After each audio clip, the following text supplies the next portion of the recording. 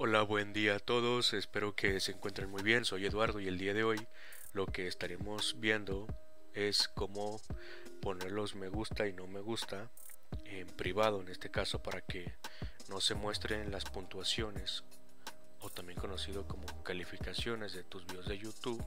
En este caso lo que podemos hacer es configurar YouTube.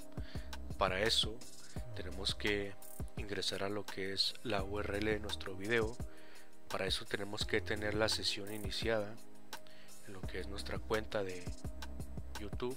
Vamos aquí a editar video. Nos va a llevar a esta sección, en este caso en detalles del video. Más abajo vamos a poder en este caso editar algunas opciones. Vamos aquí donde dice mostrar más.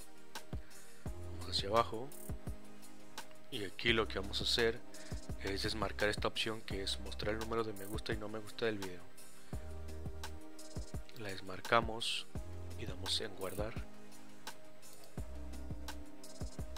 Y eso sería todo ya quedaría lo que es el video con los me gusta y no me gusta en privado en este caso.